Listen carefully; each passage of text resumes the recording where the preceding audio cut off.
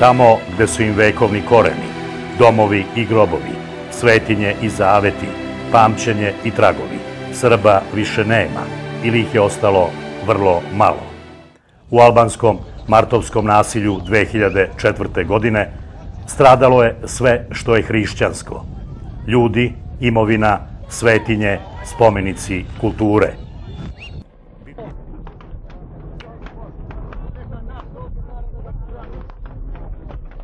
Bio je to nastavak velikog pogroma započetog u leto 1999.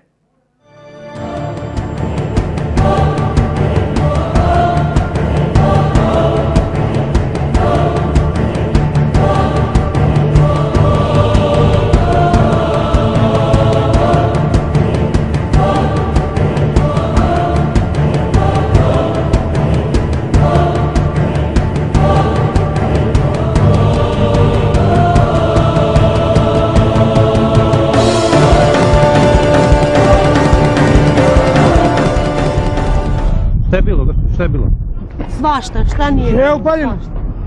Svašta. Ubijaju. Ludnica, ubijaju. Pa dobro, ne, ne znam šta da radi, ali samo da ne potrebno. Vidi oni ne pali. Čitaj. Dajmo da me snima. Čekaj, kamera, kamera, bre, kamera. Teško nam je se znaš. Štapovali Na noši što da se brane. A mi bilo. Javo tu da Zabrani ne oružje, pa sad udri, sirotinje, to povedaj. Slike martovskog pogroma koji se odvijao pred očima 20.000 NATO vojnika ostaće primjeri najgoreg etničkog i verskog nasilja koji se odigrao pred očima međunarodne zajednice. Za samo dva dana divljanja albanskih terorista poginulo je osmoro Srba, Jana Tučev i Borivoje Spasojević u Kosovskoj Mitrovici. Tonče Milosavljević i Nenad Vesić u Lipljanu. Borko Stolić i Dobri Stolić u Štrpcu, Slobodan Perić u Gnjilanu i Zlatibor Trajković u Kosovom polju. Iz srpskih domova proterano je više od 4000 ljudi. Etnički je očišćeno šest gradova i devet sela. Porušeno, zapaljeno ili teško oštećeno više od 900 srpskih kuća, 10 škola, domova zdravlja. Srušeno je, zapaljeno ili teško oštećeno 35 srpskih svetinja, od toga 18 spomenika od posebnog kulturnog i istorijskog značaja. Joj, sine moj, joj, dete moje! Joj, Milane, sine, u grobu! Na majku, oj, ne mogu! Ajde Niku, nego majku!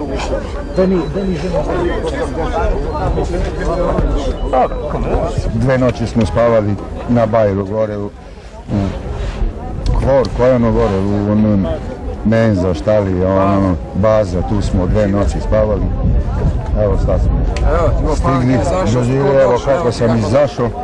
Sve sam živo ostavio kući, otvorena kuća, sve živo mi je ostavio kući.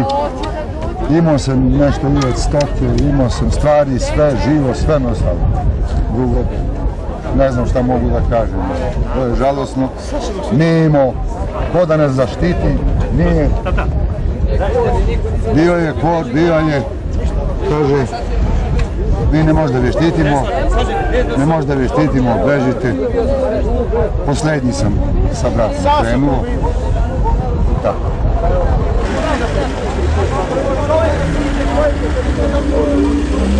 Samo kad smo žive glave zneli, sve je, sve u redu.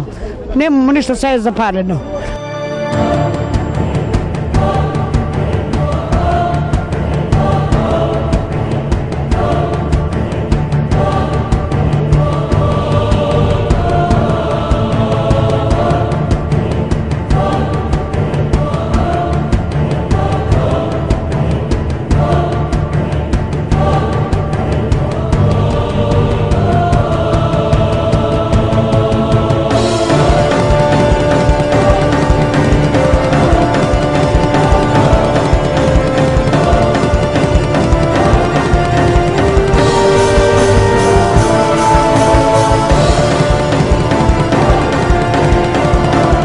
Povod za pogrom bila je optužba kosovskih i pojedinih zapadnih medija da su Srbi odgovorni za utapanje trojice albanskih dečaka iz sela Čabra na severu pokrajine. Zvanična istraga i izveštaj umnik policije negirali su ove tvrdnje. Savet bezbednosti, Ujedinjene nacije, Evropska unija, Sjedinjene američke države i NATO osudili su nasilje nad Srbima kao etničko čišćenje.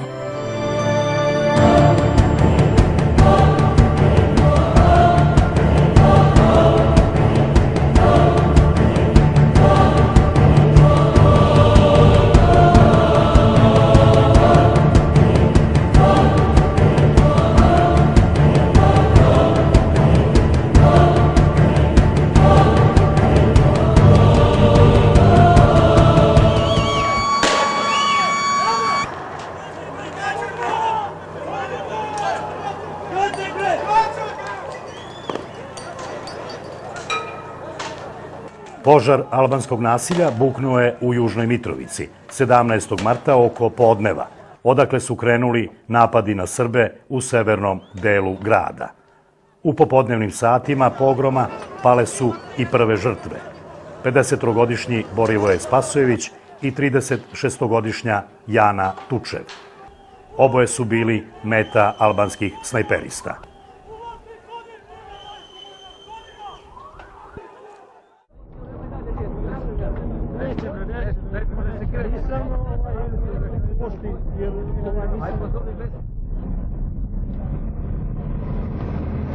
Istog dana strogo kontrolisani i koordinirani napadi prerasli su u stihiju.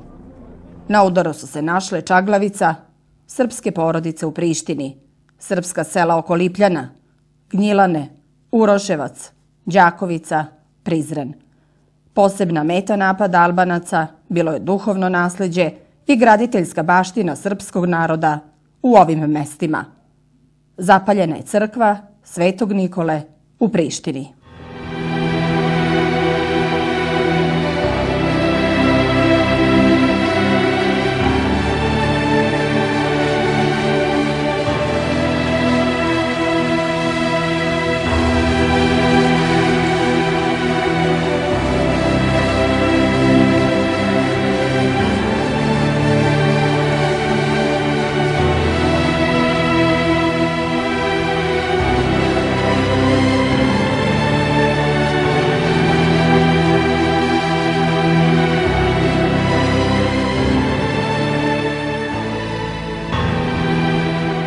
Gotovo u potpunosti su spaljeni i konaci manastira Sveti Arhangeli.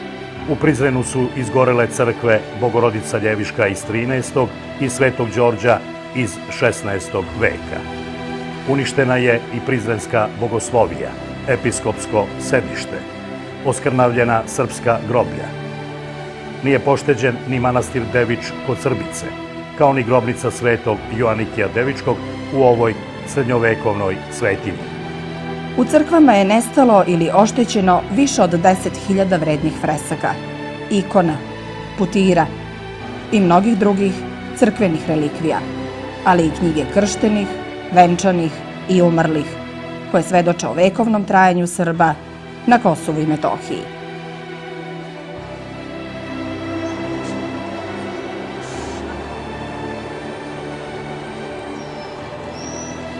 Albanski teror nastavljen je i 18. marta. Toga dana spaljeno je Kosovo polje, srpski domovi u Obiliću, Plemetini kod Vučitrna, selo Svinjare, nadomak Kosovske Mitrovice.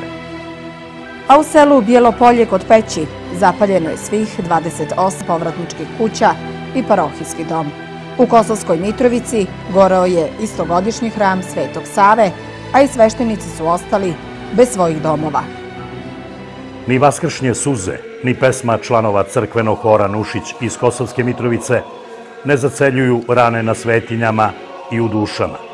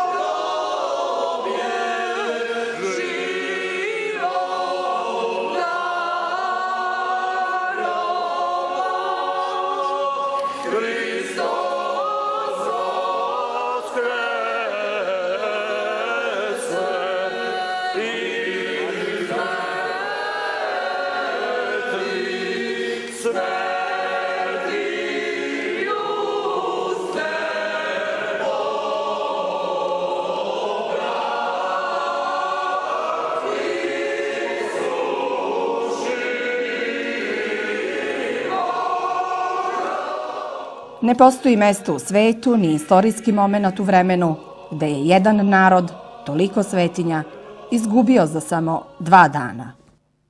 Srpske porodice koje su uspele da izbegnu najgore, spas su potražile u kasarnama međunarodne vojske. U zadnjem sekundu videći jedan mali prozor koji je manji od ovog ovde, ne znam da li će ilustracija da vam dovoljna bude. Ja sam video kao jedini spas za svoju porodicu. Prvo je izašla supruga, Supruga je bila u drugom stanju. supruga je bila u skoro devetom mesecu trudnoće. Znači osmi jače. Ona je nekako izašla, onda su deca izašla, ja ovako krupan, jednostavno sam se zaglavio do pola grudi i nije moglo dalje. Oprostio sam se sa ženom, zamolio da spase tu decu ako može i vratio se nazad. Međutim, želja za opstankom i samoodržanjem izgleda najjače na svetu. Tad je u meni proradilo neko ludilo pa sam frižiderem počeo da lupam u zid i uspeo da napravim jednu rupu dovoljno veliku da ja mogu da izađem kroz nju. Našao sam familiju i kad smo mislili da smo spašeni, jer je u jednom momentu bilo moguće da pretrčimo iz zgrade Bogoslovije do hotela Terande, tamo nas je dočekala milicija, kosovska KPS, uzela nam podatke, to je bilo par minuta otprilike.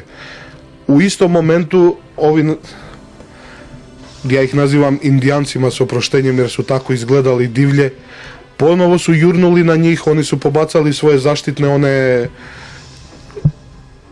svoje pancire, svoje pendreke po ulici i dali se u paničnom bekstvu put supa i ostavili nas na sred ulice u toj gomili. Opet kažem, zahvaljujući Bogu, sakrili smo se iza dva kontejnera za smeće na samo dva metara od njih i tu proveli narednih 12 sati, znači od 5 sati posle podne do 5 sati ujutru. E, sina Slobodana sam maltene dva puta udavio jer sam morao celu noć da mu držim ruku na ustima. Dobrila je bila svesna, ona je znala šta se dešava i čutala je, međutim on je mali, tako da dete od godinu i po dana nije znalo šta, je, šta se dešava i počelo je da plače gladno, žedno, u, umokreno svo. Međutim i to je prošlo. U 5 sati ujutro smo izašli na ulicu, zaustavili automobil koji je naišao, znači automobil KPS-a Kosovske policije. Objasnio sam im kratko situaciju i oni su i nam izašli u susret i poveli nas do nemačke baze, tako da smo ovde bili negde u 5.30 ujutro. Tokom cele noći gledali smo divljanje, divljanje ove bande i koja je redom išla i palila znači od Svetog Spasa gore pa se spustala naniže onda crkvu Svetog Đorđa su dva puta u talasima palili episkopiju takođe bogosloviju su tri puta u toku noći jer se su, jer je svaka vatra i svaki nanovo izazvani pojar praćen jako burnim aplauzima i hu hu hu hu nekim urlanjem tako da smo bili svedoci tog njihovog divljanja nad našim verskim objektima u gradu Prizrenu. I neka drva su bila u dvorište. I oni udariše dragu po glavu ovde na dva mesta i mene. Šiknu nam krv iz glave. Nismo znali šta da radimo. Izašli smo preko vrata. Ova mi se izgubila u gužvi. Ona je počela na albanskom da priča sreća i, i ja sam na albanski. Pričala je albanski, izgubila se, pošla prema Šedrvanu. Tražila me, nije mogla da me nađe. Ova baba i tetka mi se izgubili i one u toj gužvi. Nisam znala gde su. Ne mogu sad ni u crkvu da odem, ni na groblje svom ocu. Ne znam šta da kažem, stvarno ovo je užas. Više ne mogu da izdržim. Stvari nisu nam dali da uzmemo, ništa ovako smo došli. Go, goli smo došli, ništa, ništa stvari nisu nam dali, ništa. Goli smo došli. Naš Prizren je grad, cari grad bio nekada. Najveći grad, najlepši grad nam bio Prizren. A sad je, ne znam, dalje ne vidim od ove baze. Da li je teško ostaviti Prizren za uvek? Pa teško je. Teško je. Ja mislim najteže je. Jedan put sam pobegla i sada proterana. Ja mislim najteže je Prizren da ostaviš lep grad. Nema lepši grad u Kosovo Prizren.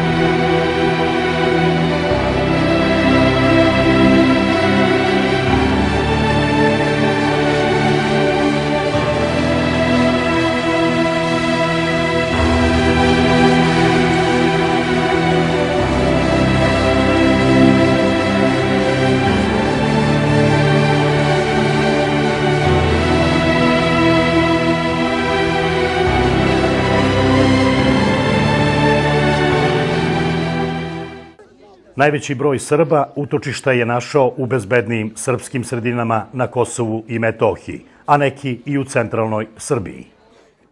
U četvrtak, u negde oko 3 sata, javili, sam da, javili su da se pakujemo i da idemo iz sela žene, deca i, star, stariji ljudi. Pošto majka nije bila tu, ja sam morao sa ovim malim detetom da pođem. Spakovali smo se, držali su nas i na dva sata na, do tri na ulazu u, sela, u selo, dok nije došla njihova vojska da nas pokupi i odveli su nas u francusku bazu u Novo selo Mađunsko. U četvrtak uveče smo stigli negde oko, ne znam koliko je bilo sati. Smestili su nas tu,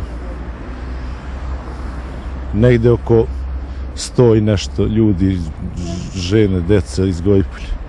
Deca su mi ostala tamo u Gojbulju, pa su onda i tamo odveli u Novo selo Mađunsko.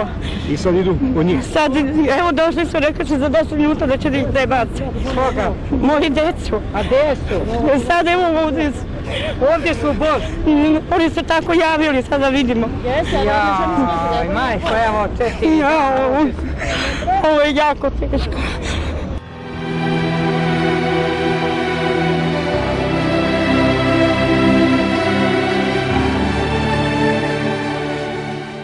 U Obiliću je sve ostalo, tamo povratka više nema. I te dve zgrade su bile do juče u žici, ograđene, kao u logoru. Mene su izgorene dve kuće dvospratne, do temelja. Važno da smo mi spasili glavu, u pitanju je. A u budućnost, šta će da bude bolesno? Eto, nijem šta da kažem. I hvala i vama.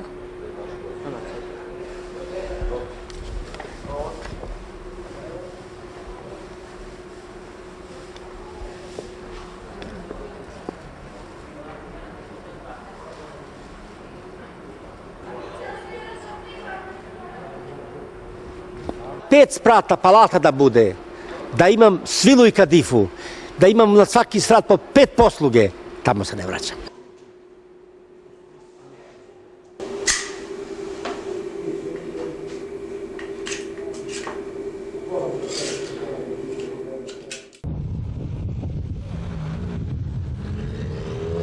Iz Kosova polja. Da iz Kosova polja, iz 9 Jugovića ulice. Tu su nas napali negde u uče oko 5 sati, kamenovali, nismo znali da će da nalete, ne ništa. Tu sam još imala jednog stanara, policajca, stanovao je, molila ga žena sa detetom, stigao je, što kaže se, i nas dve komšika mi je tu bila, hajde da će da nas uzme, moli, nije teo da nas uzme i da nas spasi, tek smo u 10 sati izašli tu iz kuće, pomoćne, tu smo samo očekivali masakar, ništa drugo. Sve to što je, kako je, nego što mi je sin kidnapovan, njega jednoga sam imala majka, Dragana Stevanovića od svojih 42 godine. To je majka, ojađena i prejađena. Marija, jesu vam kuću spalili? Ja sve je ostalo, garište, izlomljeno. Odmah stiglo je sa njima palenje, gorenje, da je to bilo u deset minuta sve završeno. Eto, toliko glave, samo da mi je sina jadnoga i što kažu nekoga spasa, da išta znam o njemu, pa opet mi majka, ja sam nekako živela. I vama je sve spaljeno, ja?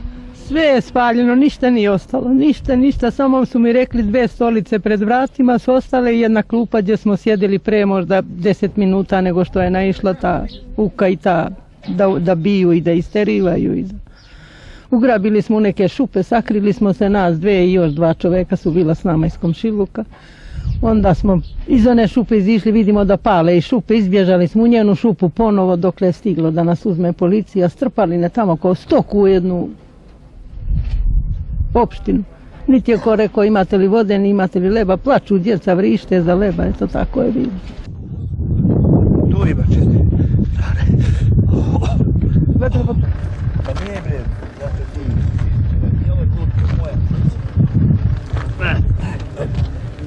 Da, pazi glavu.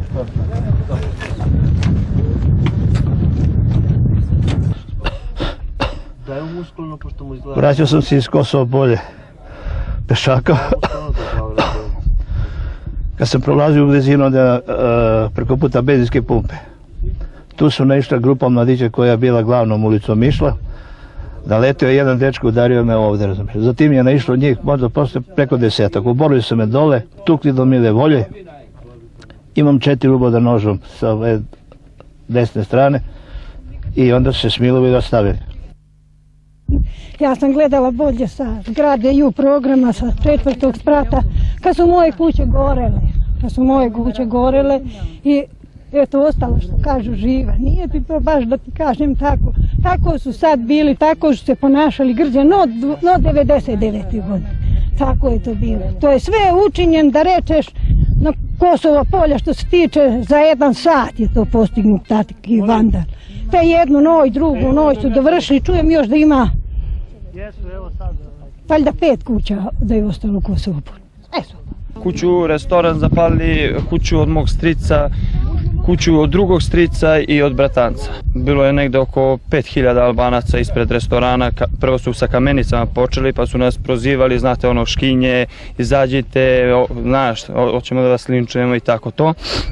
E onda su bacili koktele, prvo su bacili dva koktela na kuću, Znači, onda je jedan e, koktel bačen u restoranu gde je odmah izbila vatra. Onda smo ja i otac uleteli u restoranu, pustili smo vodu iz kuhinje normalno, onda ovaj dok smo mi to sve gasili, prišao nam je jedan umnik policajac, repertirao je pištolj i rekao je šta to radite. Moj otac je izgovorio, ovo je moj restoran, ja imam pravo. Znači imam pravo, e onda je on rekao ti nemaš pravo da gasiš to, to mora večeras da gori.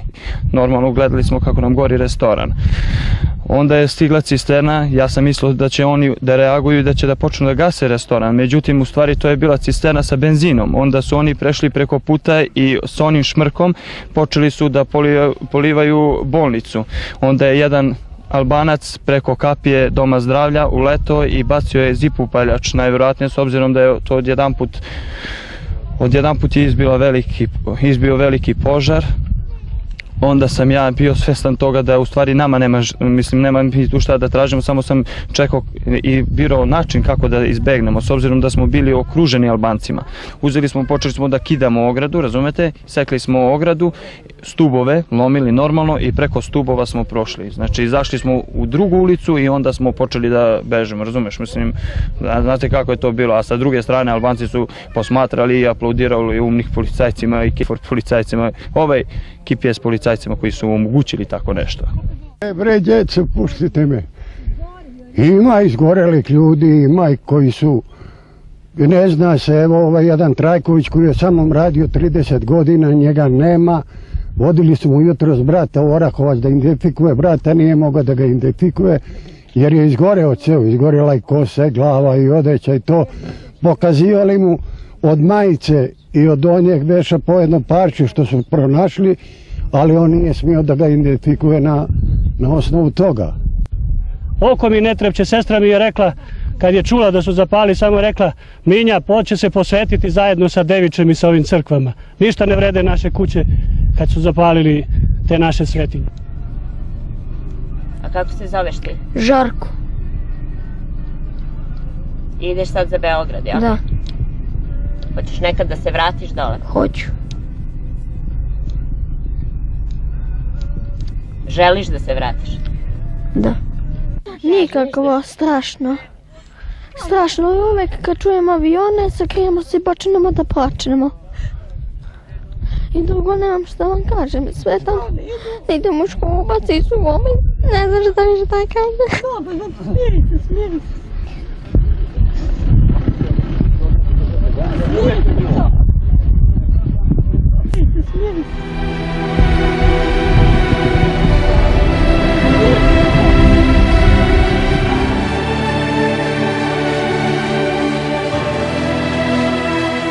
Petrović je devojčica čije lice sa suzom na obrazu obišlo svet. Martovski nemiri dva dana su je razdvojili od porodice. Sve što je tada preživela i danas čuva u sebi.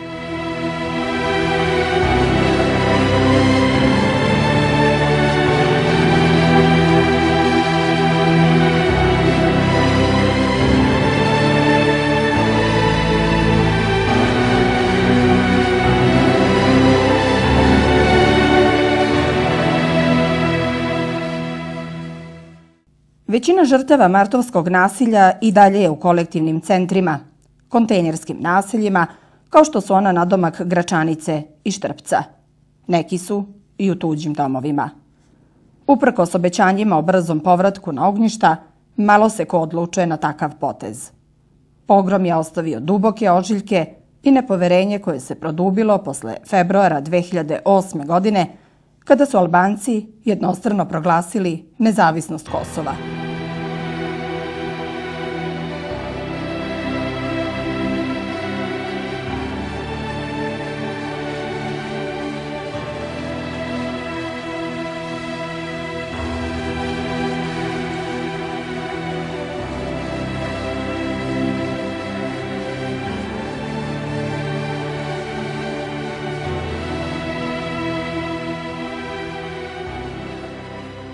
Kako, evo vi ste imali lepu kuću u Obeliću, baštu, radili ste imanje.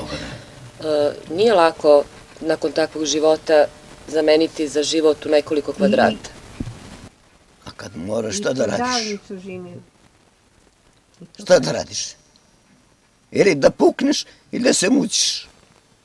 Drugo ne znam društvo da kažem.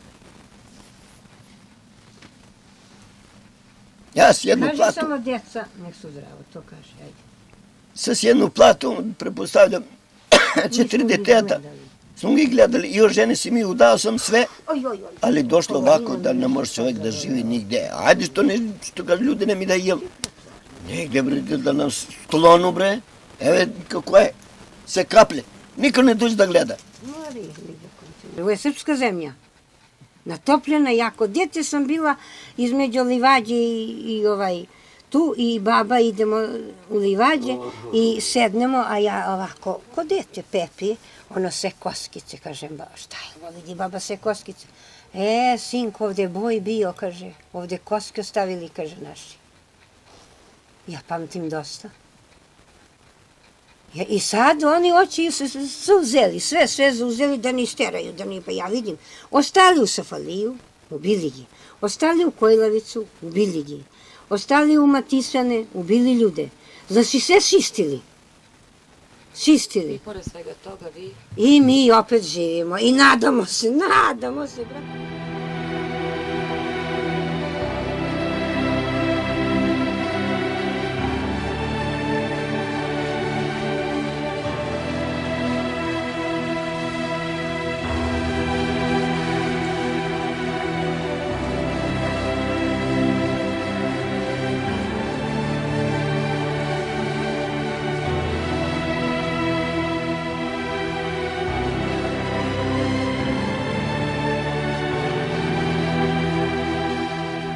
Objekat hotela broj 3 u Zvečanu, pred kojim se upravo i nalazimo.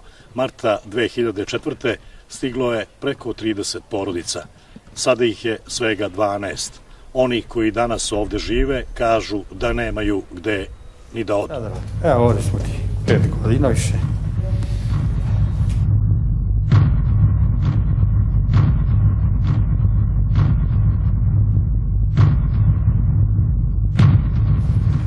Mučki ti živimo, moja. Ne, živimo ko, ko psi u zatvoru. Ovo je ćelija. Ja sam nazvao da je to ćelija.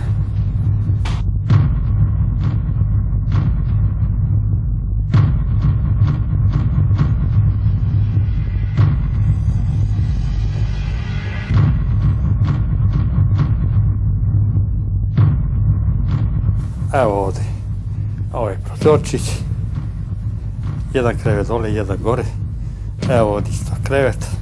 Evo ovdje ti ručavamo na ovu dasku. To smo uzeli iz, iz škole kad smo bili u Mitrovicu. Osam mjeseci smo bili u Mitrovicu. E, na ovo se grijemo.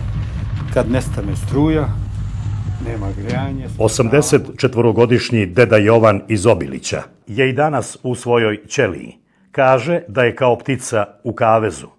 Ne nada se boljim danima i sve više veruje da je kraj njegovim mukama veoma blizu. Devet godina ovdje ti živimo, dušo moja. Devet godina. Niko nije došao da nas pita kako živite. Ja sam ovo nazvao ćelija. Nemoj da dolaziš da me pitaš kako živim. Samo da otvorim jedno prozorče ovako gore ko na ćeliju i da kucneš na vrata ovako i da otvori na ono. Kako je deda? Evo kako je. Kroz prozorče da te. E tako. Ja sam ovo nazvao ćelija. Koji što je. Ništa, ništa, ništa ne primamo. Ranije i pomalo drva su nam davali, sad i to prekinuli. Doli smo imali jedan šporet u salu, pa kad bude sneg, ovo kad nema struje, siđemo dole i ne siđemo dole. Nema gdje da se griješ, nema ono, tu smo. Na krevet se pokrijemo s ovi ćebali, što imamo što nam dali i to. Niko i ništa. Razumije, niko i ništa. Evo, da ti kaže deda jo, tebi ovako.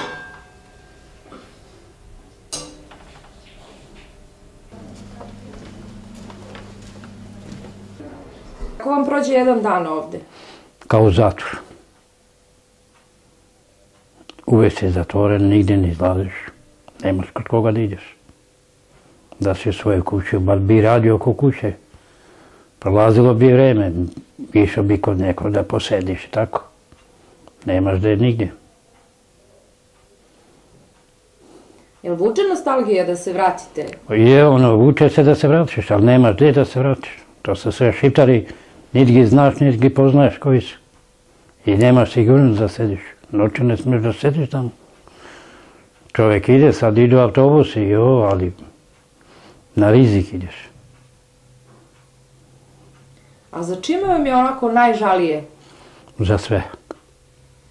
Jer tamo sam rođen. Tamo sam volio da ostanem, ali veća sila mora da izađeš.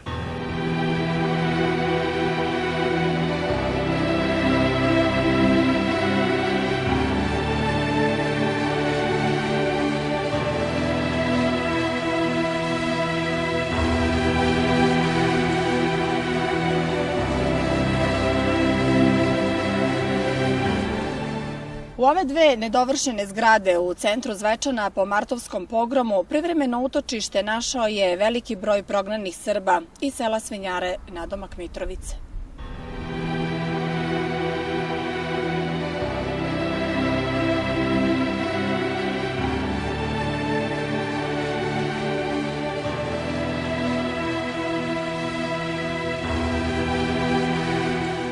Nekoliko godina kasnije uselili su se u novo izgrađene kuće u naselju Mali Zvečan, gde i danas žive.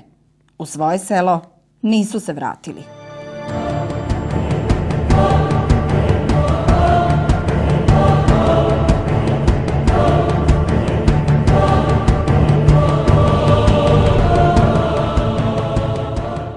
Nakon martovskog pogroma uhapšeno je više od 200 Albanaca.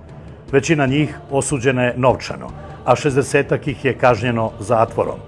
Međutim, glavni akteri iz političkih i struktura bivše OVK u etničkom čišćenju Srba izmakli su pravno.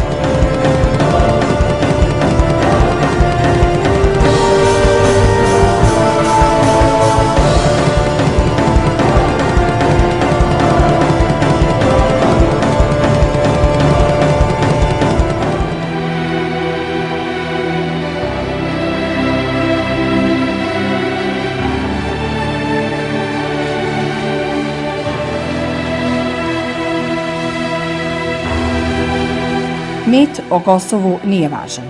Važna je poruka koja je kroz vekove stigla do svih nas. A stigla je poruka da se zlu moramo suprotstaviti i da nikada ne smemo dozvoliti da tuđa noga našom zemljom vlada. A dobro će nadvladati zlo, makar i to trajalo vekovima. Živi imaju pravo na nadanje.